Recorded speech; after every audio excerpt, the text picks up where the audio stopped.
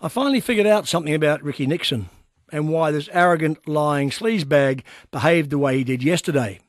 Like the scorpion, it's in his nature. In response to increasing and damning evidence of his sexual involvement with a troubled 17 year old he was purporting to counsel and support, Tricky Nicky did what he always does. He called in the spin doctor. Himself. He's been doing it for money for decades. It's made him a fortune. I'm surprised somebody hasn't changed the name of his company from Flying Start to Lying Fart. Whenever there's been a drug or alcohol or sex scandal involving one of his clients, Ricky has ridden to the rescue.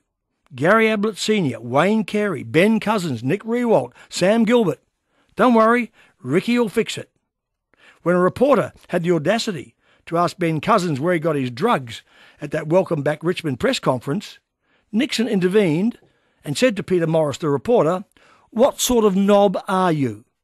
And nobody had the guts to say, I wasn't asking you. So when Nixon became the centre of a scandal this week, he again launched the attack dog. The PR man's creed, attack, is the best form of defence. The second rule, deny, deny, deny. He popped up on radio stations all over Melbourne, AM and FM, smearing the girl he was supposedly trying to mentor, denying everything, but really not answering any questions. I'm told Eddie McGuire even said, mate, you don't have to answer anything if you can't. And he didn't. Nixon cleverly tried to roll all his visits to the teenager's hotel room into one brief moment of stupidity. He said, and I quote, it was very, very, very silly. But we've all made silly mistakes. You have, you have, and I have. And if I had my time again, I certainly wouldn't have pointed my car in the direction of that hotel room. With his driving record, he shouldn't be pointing it anywhere. At one stage, explaining how he stood in the lobby for 20 minutes and berated her, it sounded like he'd never, ever even been in a hotel room. Then he had been there. He couldn't or wouldn't answer what he was doing in his underpants, diving into her bed and switching off the light. I guess this is Nixon style New Age counselling. A 47 year old man strips to his undies when saving a 17 year old soul. The cocaine like powder she videoed in the room? Well, on 3AW, Nixon said, I did not use drugs in her presence.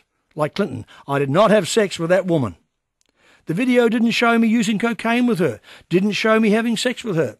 Therefore, couldn't have happened.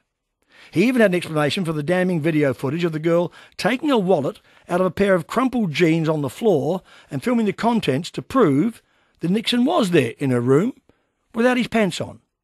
A shower can be heard in the background. He says that, oh, that video, oh no, that was filmed in his office last year. Strange, when I met with him last month, and he was busy showing me photos that he took of the scantily clad and drunk teenager during that visit in that office, he didn't mention he had his pants off, or even that he'd left her alone in the room.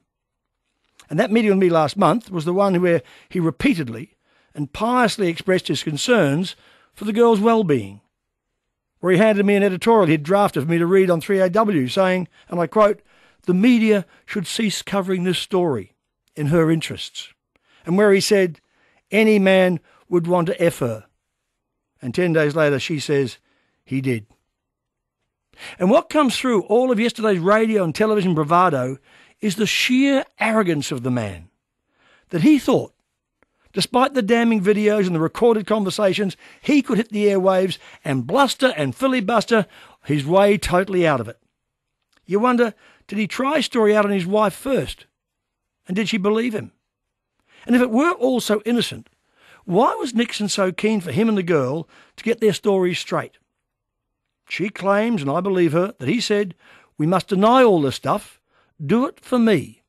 If it comes out, we'll both be dead.